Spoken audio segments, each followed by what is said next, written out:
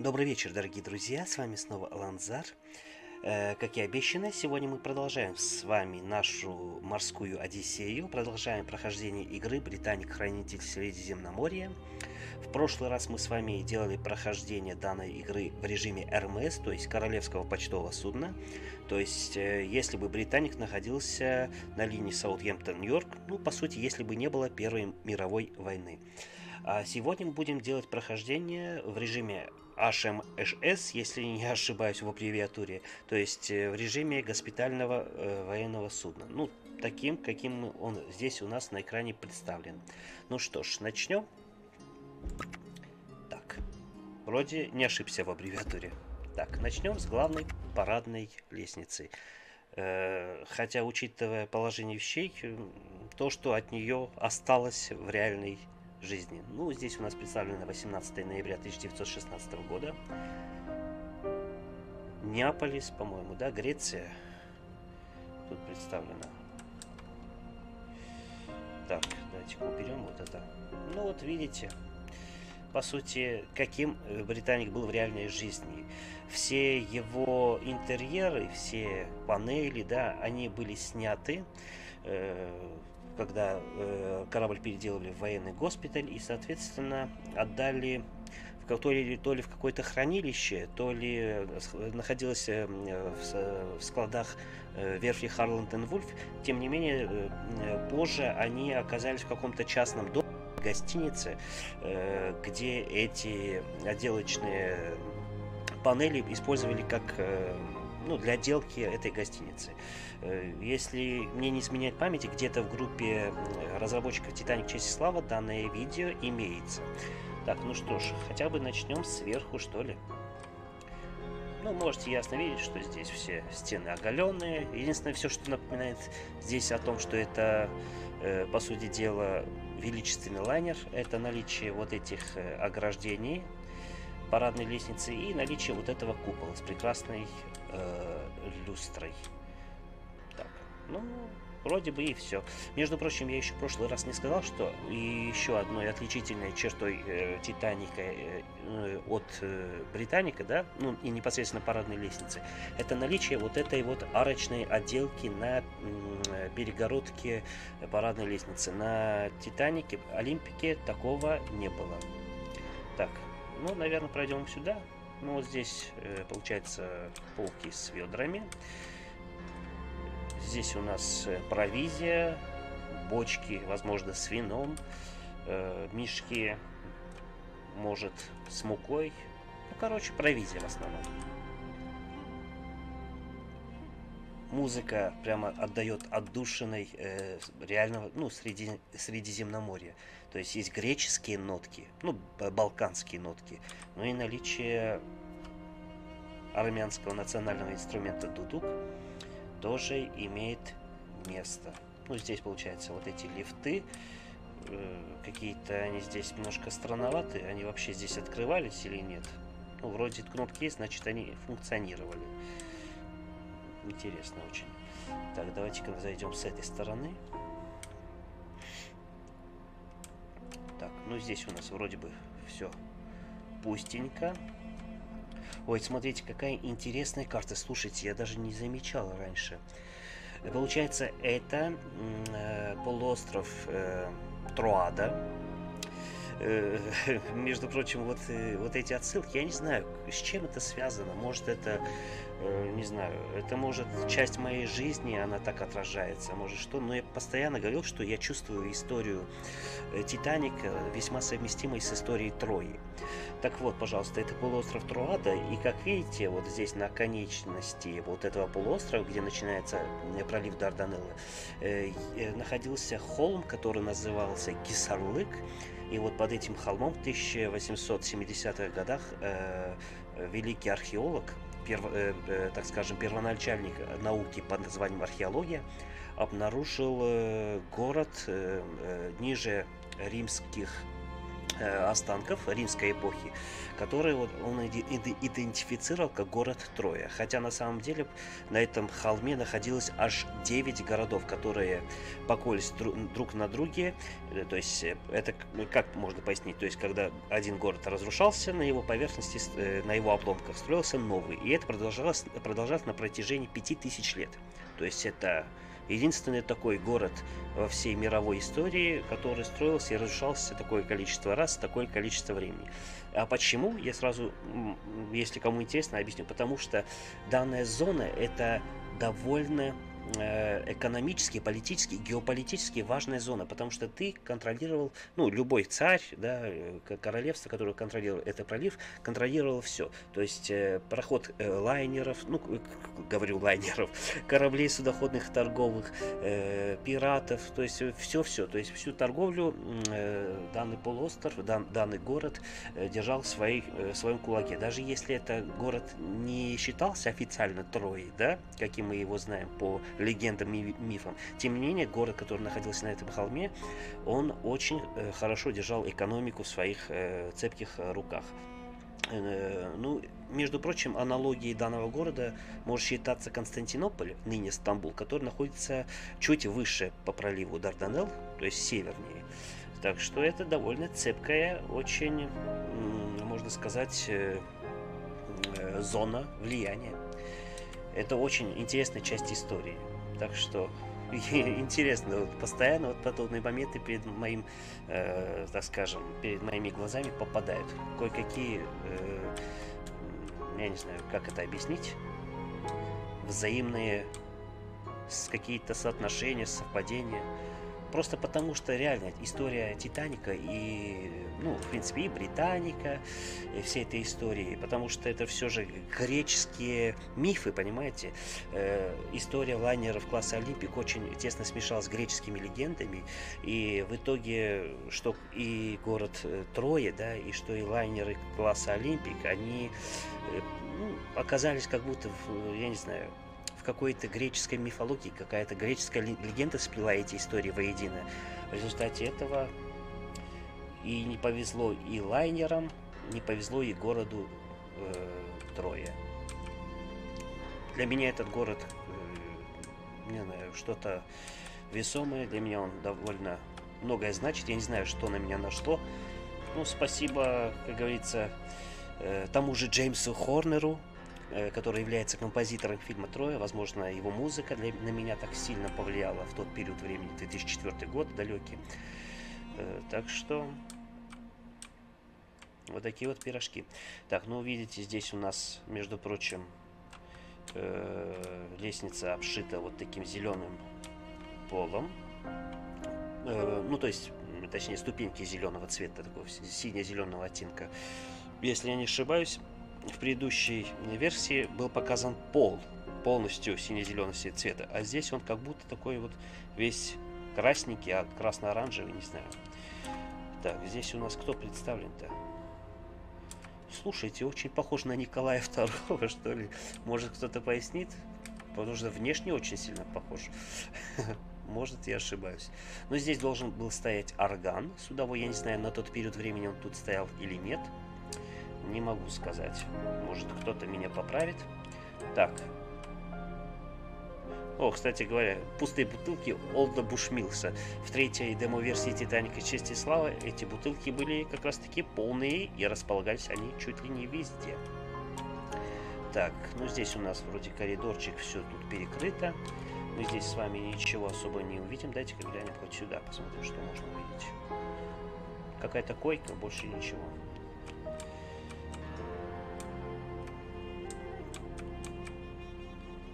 Музыка просто волшебная. Кстати говоря, э, духовой инструмент, который я вам, э, о котором я в прошлый раз вам э, рассказывал, то есть это армянский инструмент дудук, вот, пожалуйста, ну, чтобы вы наглядно видели, что это из себя представляет. То есть это получается духовой инструмент из абрикосового дерева с восьмью отверстиями. Ничего особенного, но этот инструмент, которому уже чуть ли не 4000 лет, И на, в Армении, да и в принципе во всех ближневосточных странах этот инструмент имеет огромную популярность.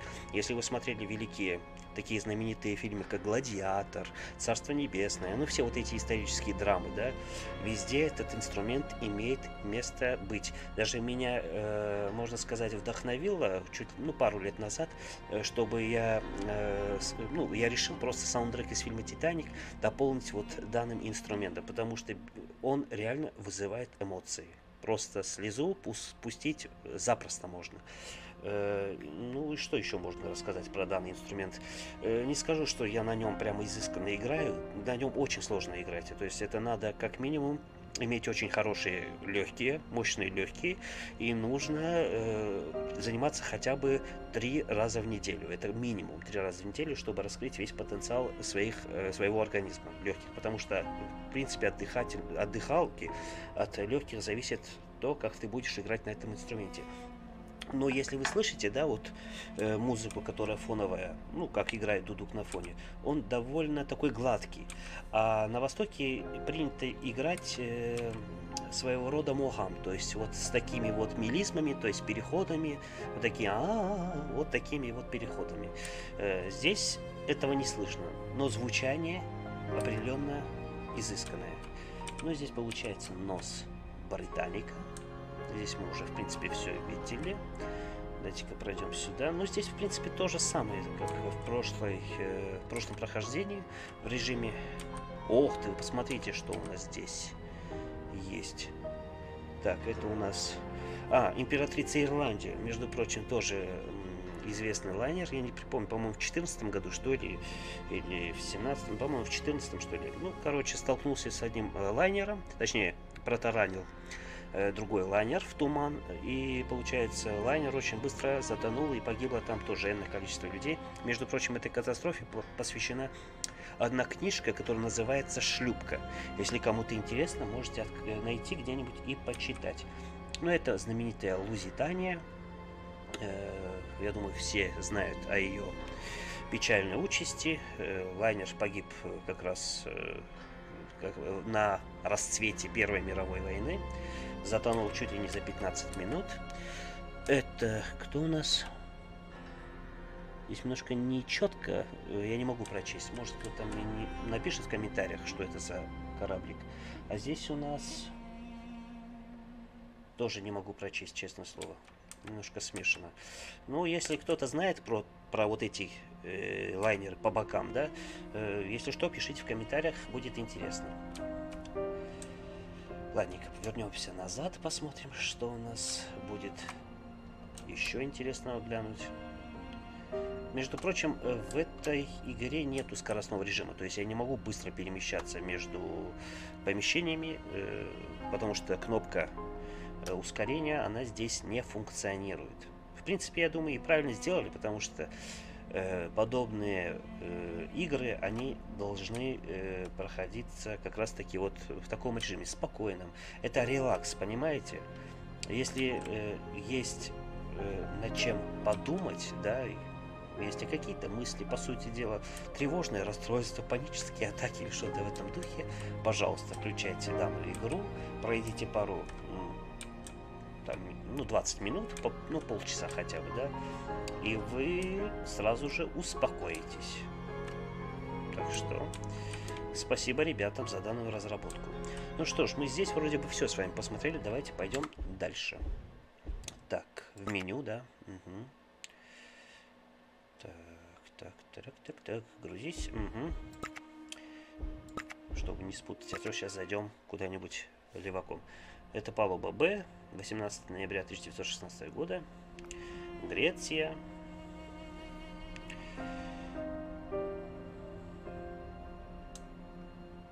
Так, давайте-ка вот это все мы уберем, чтобы не мешало. Так, ну, в принципе, каютка. В принципе, ничего существенно даже... Ну, просто умывальник. В принципе, как и э, у нас в, в поселке, в, в больнице. То есть, в принципе, ничего особенного. Просто умывальничек. Все. Никакой роскоши. Ну, это военный госпиталь был, так что. Хотя, о, ну хоть что-то, ребятушки. По крайней мере, скамеечка, шкафчики, туалетные столики. Что-то напоминает о роскоши, которая могла бы быть. Ну, здесь занавес специально, потому что это койка.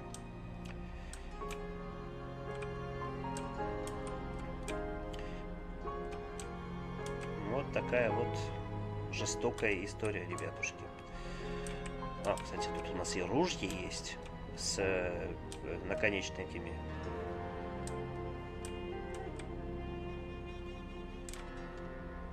Легендарное звучание, просто, я не знаю, прямо в трепет бросает, аж мурашки побежали. Но это получается побережье Неаполиса, если я не ошибаюсь. Так, ну, вроде бы... А, тут мы еще сюда не зашли. Ну, тоже койки. Ничего особенного.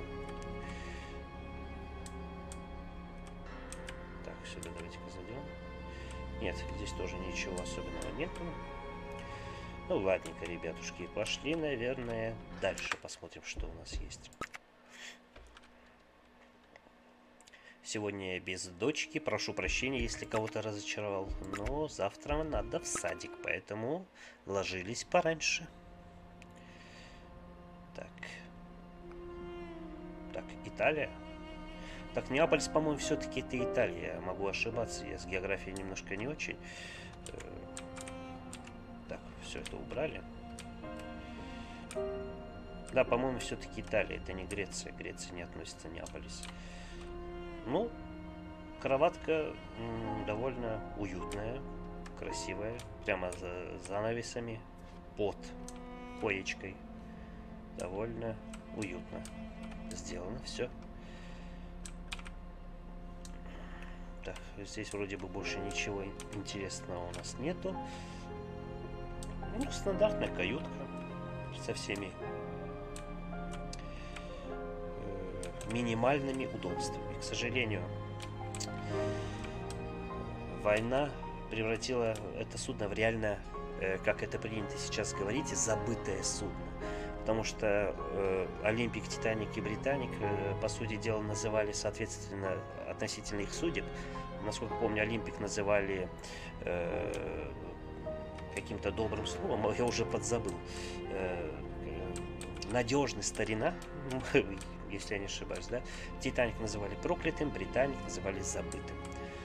Потому что, ну реально можно сказать забытым, потому что когда я рос, да, в детстве, я не знал, что реально было такое судно, да, э, я знал только о Титанике, да и всем, мы думаю, в детстве, когда росли, да, видели вот этот фильм Титаник и думали, что только Титаник и все дела. Но на самом деле было еще на что посмотреть. И я помню вот эти первые документальные фильмы, которые я посмотрел там 8, что ли, лет. И когда я видел два судна однотипных, э, на похожие на Титаник, я, я думал, что было, сколько было Титаников-то, я не мог осознать. И тогда же не было интернета, и книжек у меня не было, чтобы я вот прямо открыл и почитал. А потом оказывается, что у Титаника и старший братик, и младший братик. То есть это вот это все постепенно у меня э, накапливалось, накапливалось, и в итоге вот э, интерес сам по себе вот нарос ко всему этому. Ну, с этим я рос, и с этим я буду дальше и расти. Не знаю, какая-то часть моей жизни все-таки весомая. Ладненько, давайте, давайте пойдем дальше. Так, это мы были э, еще в одной каюте. Так. Да, точно. Сейчас у нас пойдет бассейн. Так, теперь Греция. 18 ноября 1916 года. Так, давайте-ка уберем вот это все. Ну, тоже, тоже можете ясно видеть, каким, по сути, был бассейн,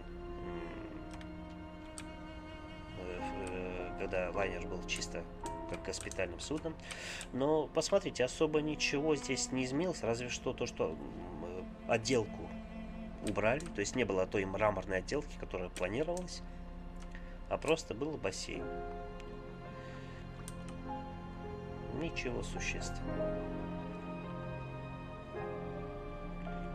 Вот такая вот оказия.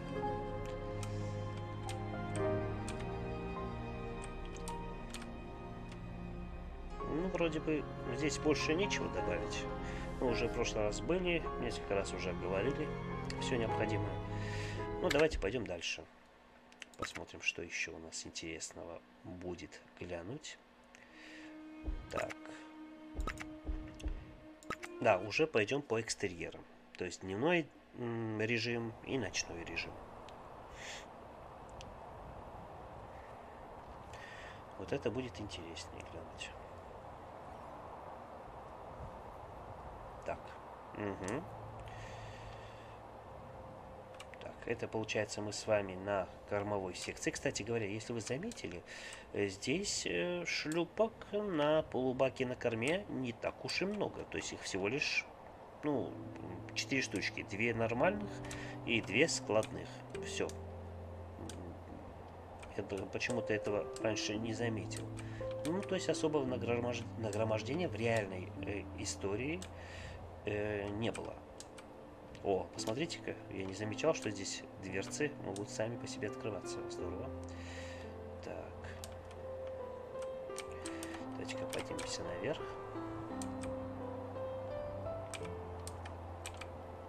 Угу. Ну, это получается э, кормовой руль. Довольно удобная штука, если необходимо рулить в портах, чтобы припарковаться.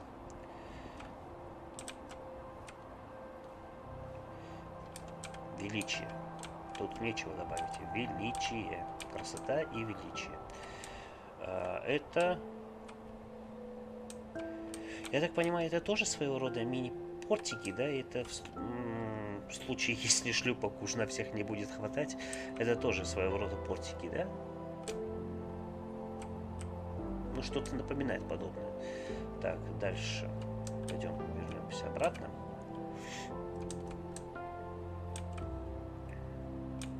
Вот эта музыка фоновая, она мне напоминает э, музыку э, из э, компьютерных приложений планетариев. То есть я же все-таки астрономией какое-то время занимался и помню, что были у меня какие-то на компьютере приложения непосредственно с планетарии. И там была такая же фоновая музыка практически. Но здесь у нас нет возможности спуститься вниз. Так, давайте-ка поднимемся обратно. Ну, здесь даже э, ребята удосужились ржавчину пририсовать, потому что все-таки кораблик уже не первый год э, в деле. Просто он здесь на причале стоит, отдыхает. Здесь, между прочим, тоже, вот видите, компенсаторный шов проходит.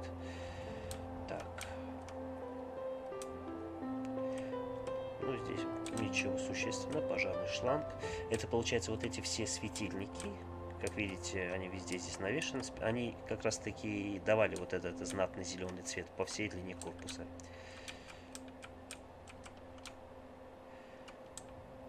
Так, ну, я не буду подниматься на шлюпочную палубу. О, посмотрите-ка, я этого не видел, ребятушки. То есть хотя бы сделали какую-то такую псевдовозможность глянуть внутри, что могло бы быть, да?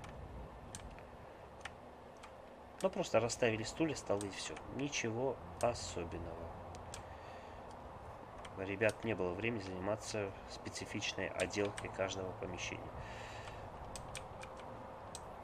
Ну, потому что это в, основ... в первую очередь симулятор ходьбы.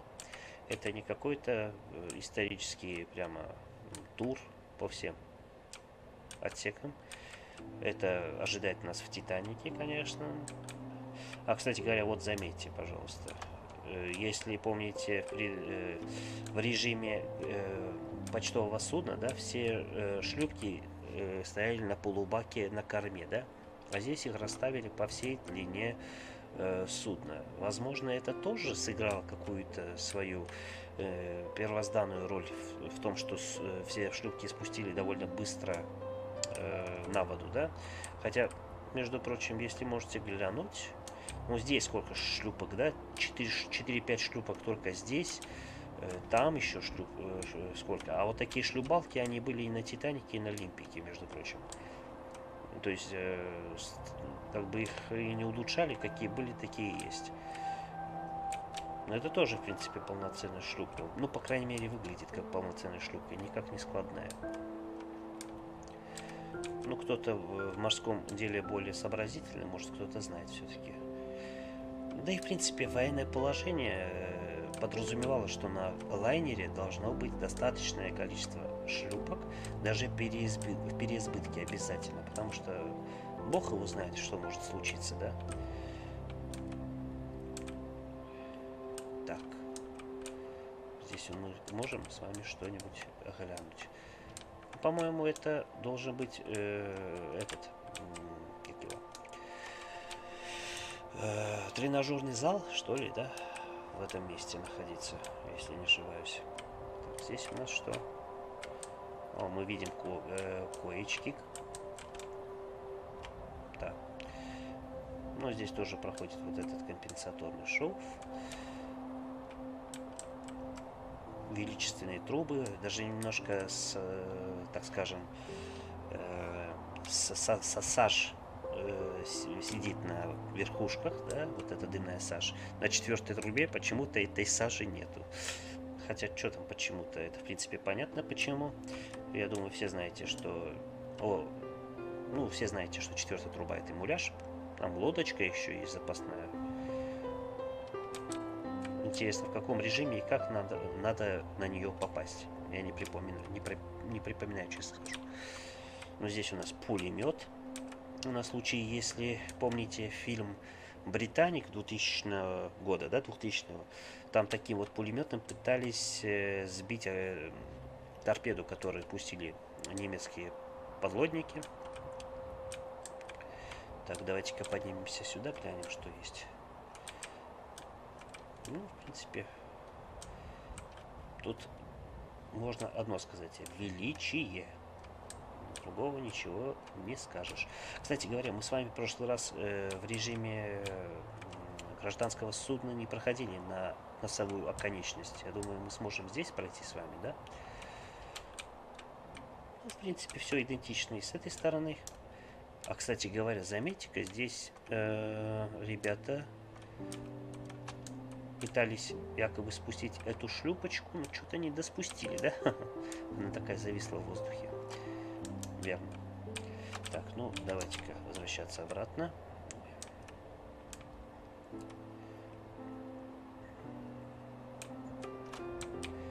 Везде эти пожарные шланги. Везде. В принципе, и правильно. Ой, нет, надо бы еще на палубу ниже спустить. О, посмотрите-ка, мы здесь с вами не были. Ну, здесь тоже вот эти койки по всей длине. Это на скорую руку, если... Э, ну, специально для всех э, ребят, кто экстренно попадает на судно. А потом только их начинают э, всех делить по койкам, ну, то есть по отделам, в зависимости от травмы и повреждений. То есть, если это травма рваная, там, я не знаю, ну, э, ну, которые требуют ампутации, их в отдельный лазарет отправляют. У кого пулевое ранение, тех в другое. То есть, чтобы хирургам, так скажем, облегчить э, работу. Я не припомню, вот это что за приспособление. Но они проржавевшие, прямо натурально проржавевшие. Так, давайте-ка спускаться вниз. Ну, здесь тоже, видите, ржавчина. Ну, судно довольно долго на службе стоит. Так, это волнорез.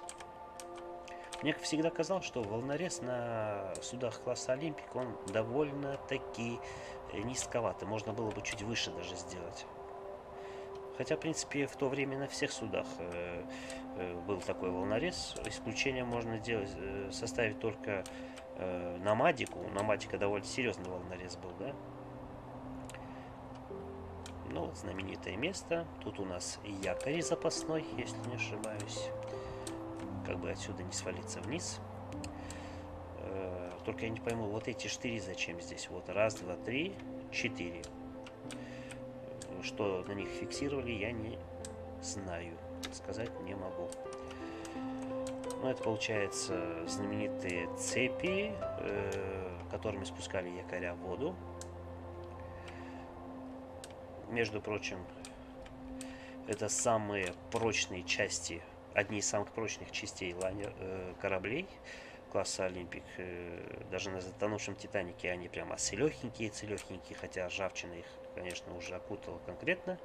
Но они будут ржаветь, ржаветь, ржаветь очень-очень долго. И, наверное, исчезнут, может, еще через, может, лет 500-600 только, если. И то не факт.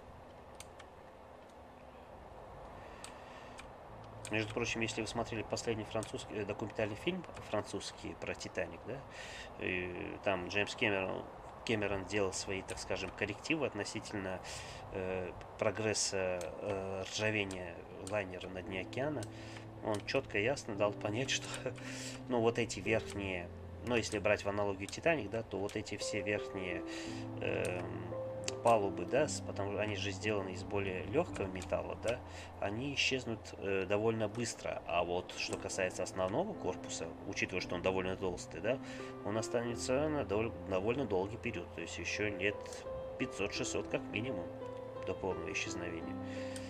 Так что вот такие вот пирожки, ребятушки. То есть эти останки, эти обломки переживут нас с вами и наших детей, и наших внуков, настолько это значимо. Это тоже памятники э, истории, да, но, к сожалению, в отличие от многих других памятников, да, эти памятники в скором времени исчезнут вообще из истории если, конечно, не предпринимать, не предпринимать соответствующие меры. Я считаю, что вполне себе можно все-таки Британик э, спасти. То есть его обломки все-таки они не на такой уж огромной глубине. Можно бы, было бы соорудить какой-то купол защитный, да. Э, я не знаю, еще что можно было бы сделать, ребята, предложите. Но Британик, мне кажется, все-таки можно в какой-то какой мере сохранить э, для будущих поколений, для истории в целом, да потому что э, даже касаемо Британика, не все можно сказать, что мы знаем прямо идеально. Э, возможно, какие-то нюансы по Британику могли бы все-таки яснее нам ну, дать понять, э, каким был Титаник, э, то есть в реальности, нежели тем, каким его нас, нам пытаются представить э, все историки, э, архитекторы и так далее. Ну вот это получается вот эти самые рычаги, кран, э, которыми управлялись вот эти краны. Здесь. Но мы довольно э, быстро передвигаемся. Ощущение, как будто мы с вами на лошади здесь скач, скачем, реально. Ну вот такая вот оказия, ребятушки. Так. Но я думаю, с дневным режимом у нас э, более-менее все понятно. Давайте перейдем на ночной режим, ребятушки.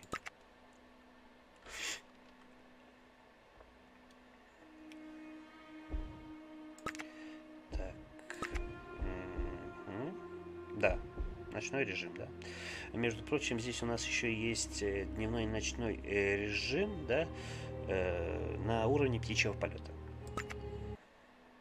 Если тут немножко носом фыркаю, извините, пожалуйста, ребятушки, тут у нас оказия вышла в пятницу, э, моей, мне и моей медсестре э, стало немножко плоховато. Э, скорее всего, мы столкнулись с новым штаммом COVID-19, тем самым омикроном, нахваленным, я не знаю его как назвать,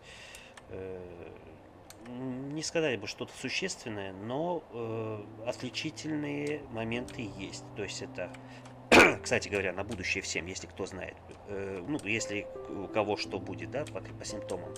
Э, то есть одна явная э, черта отличительная, это обязательно температура 38-40, которая прямо резко э, может подлететь.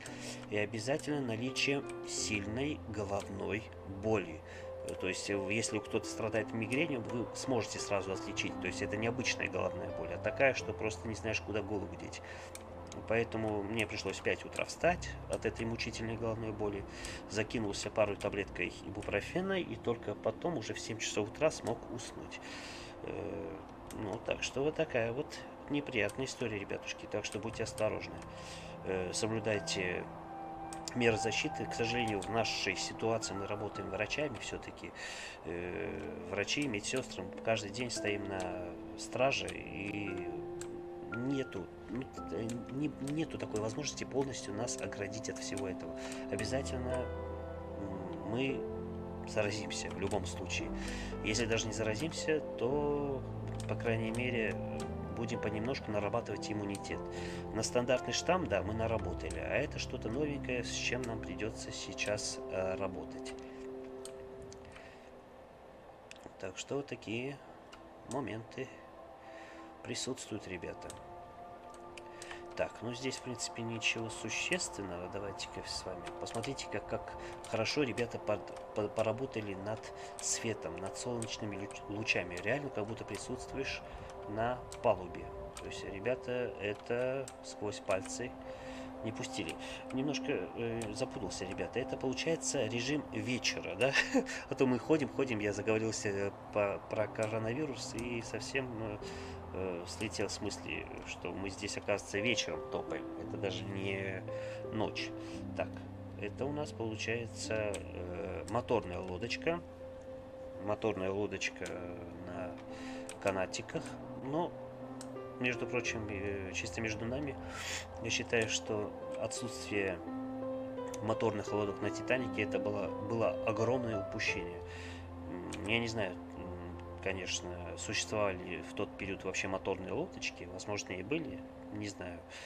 Но в период Титаника, я имею в виду, три, тремя годами ранее, возможно, и были. Так. Но здесь, как видите, пулемет уже на земле. Так, что мы еще здесь не видели с вами? Так, кстати говоря, а ну-ка давайте-ка вниз. Мы с вами сходили вот сюда, на мостик вроде не заходили. Но здесь все идентично. Каюта капитана, да, если не ошибаюсь. Здесь все идентично. Лайнер во всем своем срезе. Если здесь не ошибаюсь, здесь можно даже глянуть, посмотреть, на каком уровне находились водонепроницаемые переборки. Э, здесь плохо, э, так скажем, шрифт настолько мелкий, что не прочесть, но ощущение, так скажем, то, э, так, а, Б, С, Д, Е. Ну, ну вот, короче, переборки были на уровне палубы С где-то, Д. На таком уровне переборки находились, на носу в основном, довольно высокие были. На Титанике они едва доходили до палубы Е. Так. Ну, здесь, в принципе, ничего особо не сказать, что отличается от э, дневного режима. По-моему, все то же самое. Так, а ну-ка, давайте-ка вниз пройдем.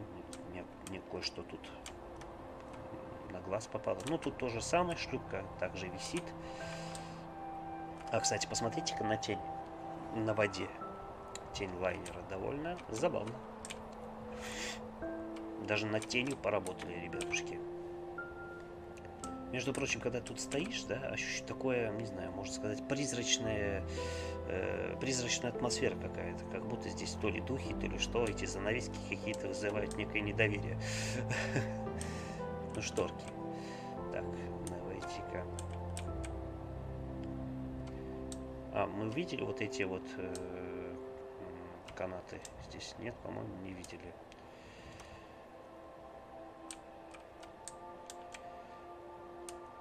Ну, в принципе, все идентично.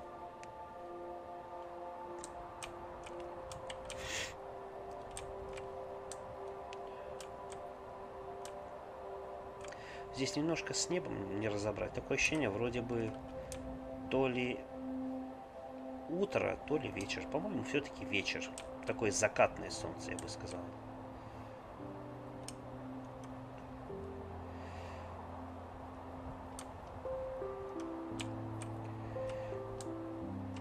Завтра у нас как раз понедельник. Рабочая неделя начинается. Так что можно считать это своего рода э, релаксирующим э, прохождением. Чисто релакс.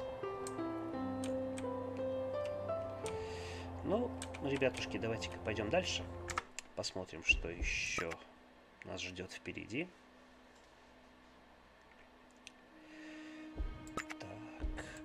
Так. так, мы были с вами Daytime, Sunset, так, Nighttime. Кстати говоря, ребятушки, э, давайте сделаем э, некое мини-голосование. Если кто-то захочет, чтобы э, мы сделали еще одно прохождение по Британику, если вы знаете, игра Британик предоставляет нам возможность сделать еще, ну, включить режим затопления, таким, каким оно было в реальной жизни. То есть, как корабль наскакивает на мину и как он, он тонет. Можем еще сделать прохождение по ну, в данном режиме. Если кто-то за, пишите в комментариях, будем только за. Так, немножко подкорректирую. Угу, все. Так.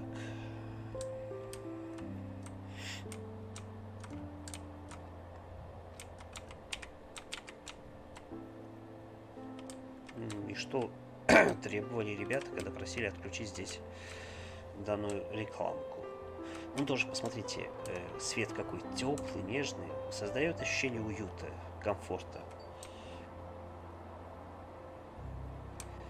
Вы посмотрите на небо, ну это просто нечто. Между прочим, я немножко разогнал свою видеокарту, но это сразу ощущается по картинке на небе. Кстати говоря, крайне не советую разгонять свою видеокарту. Насколько можно ее использовать, ребята, настолько ее используйте. Потому что это рискованно, можно просто взять и спалить. То единственное, что сегодня составляет огромную ценность, учитывая треклятый майнинг со всеми своими вытекающими. Ну, вроде сказали, что рынок постепенно теряет свои э, кроны, так что вскоре можно будет э, наблюдать э, ну, падение, незначительное, но падение цен на видеокарты. Так что я очень хотел бы себе 1080 Ti. Это довольно мощная карта, она потянет э, все, что захотите. То есть ее можно поставить на веки вечные. Я думаю, ничего круче и более подробнее в ближайшее время не выйдет, еще лет 5, так что можно спокойно на такой карте играть все игрушки, которые нынче имеются. Посмотрите, какая красота. Реально можно сделать скрин экрана и поставить на рабочий стол. Ну, здесь лампы, как видите, горят зеленые. Специальный это ну, метка, э, соответствующая госпитального судна. Ну, чтобы не спутали ни с чем. Э, потому что все-таки военное время поднимемся наверх. Обратно. Ну вот этот кожух, я так понимаю, это чисто для того, чтобы... Ну-ка, давайте-ка вниз. Немножко не пойму, зачем вообще он нужен. Может, кто-то знает. Может, для того, что для... Ну, я сомневаюсь, что это, скорее всего, для сбора дождевой воды. Хотя это довольно смахивает на это. Но что они пытались здесь прикрыть, я не могу сказать зачем.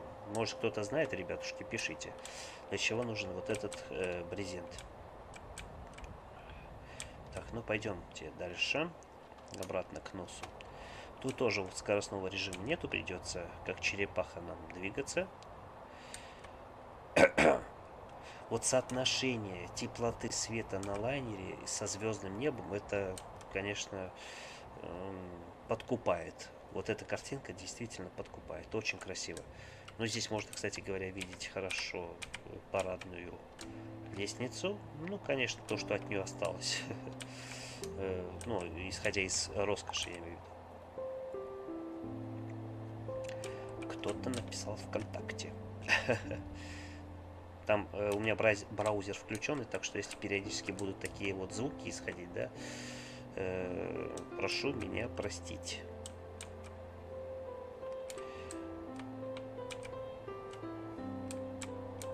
скорее всего, пишут э, мои э, новоявленные поклонники. Огромное спасибо вам за поддержку. Чисто ради вас, ради вашего интереса я готов дальше делать интересные э, прохождения. Но отсюда можно четко видеть парадную лестницу на носу. Очень необычно смотреть на наличие вот этих коек, да, и рядом с парадной лестницей. Очень забавно. Так, давайте-ка вниз, наверное, пройдем дальше. А, о, посмотрите-ка.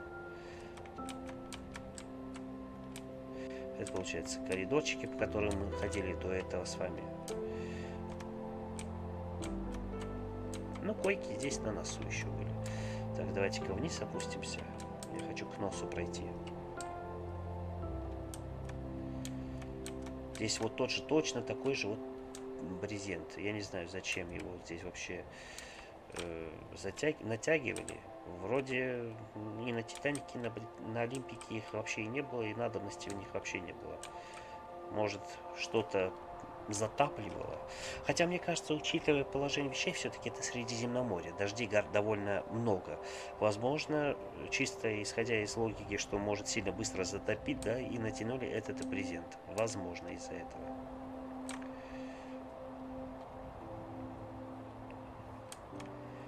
Красота! Вы посмотрите. Ой-ой-ой-ой-ой-ой. Реальное ощущение, как будто ты находишься на какой-то другой планете. Вот реально, другая планета. А это какой-то звездолет. Начало 20 века.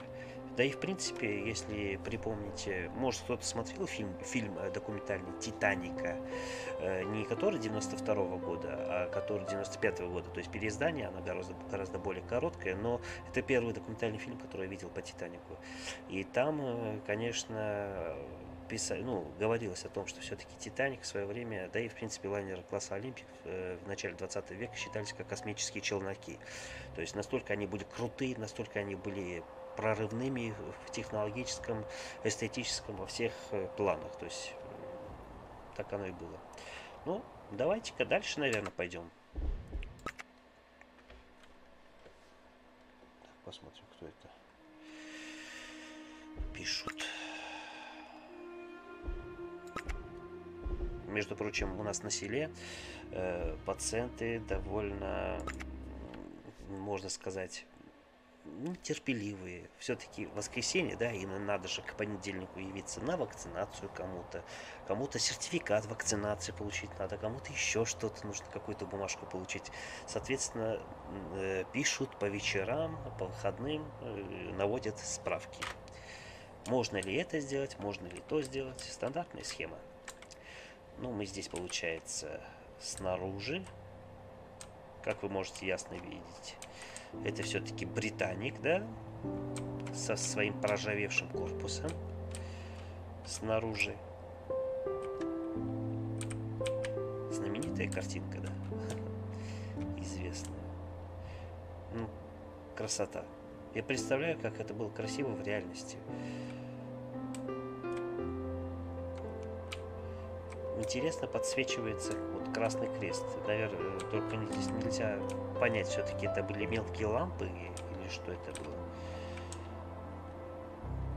Кстати говоря, мне всегда интересно было, как подсвечивается вот этот красный крест. Оказывается, здесь есть э, такой э, прожектор, который вынесен за борт. Ой, какой слепящий, даже и так смотреть на него больно. То есть и с той, и с этой стороны, видимо, есть такие прожектора, они специально освещают красный крест, чтобы ночью ни с чем не спутать красота. Мне даже жалко, почему подобное вот освещение, да, вот по всей длине судна, да, не сделали на Олимпике или Титанике. Ну, чисто из э, эстетической логики, чтобы придать как некий шарм лайнерам.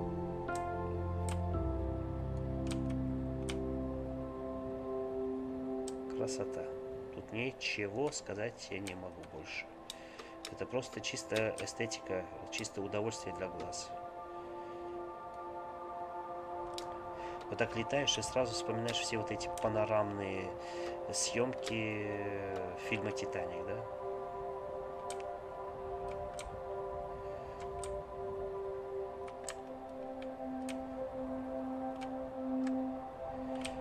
Бы из нас мог подумать, что все-таки в наш э, ну, при нас, да, еще будут выходить вот такие вот интересные игрушки, что будет такая вот, э, не знаю, команда разработчиков, которые будут настолько фанатеть от этой всей истории, что все-таки решаться воссоздать э, вот эти лайнеры э, в цифровом виртуальном формате на компьютере. За что им огромная благодарность.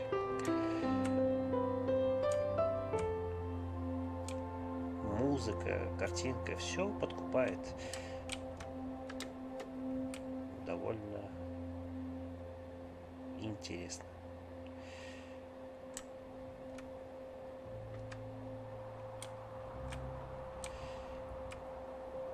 Ну что ж, ребятки, я думаю, что на этом уже можно э, уже закругляться. Э, если что, помните о моем предложении. Если все-таки есть желание, что мы, чтобы мы сделали дополнительное прохождение в режиме затопления э, данного военного госпиталя, пишите в комментариях. Я думаю, мы сможем с вами это замутить. Ну, я думаю, что еще пару дней придется подождать. Но если что, пишите. Или можете писать, между прочим, в личку. Я не против. Пишите и будем, исходя из ваших комментариев, предложений, и думать, что мы будем делать дальше, до тех пор, по крайней мере, пока ждем альфа-версию игры Титаник, честь и слава. Всем огромное спасибо, что были со мной. Всем хорошего вечера, до скорого.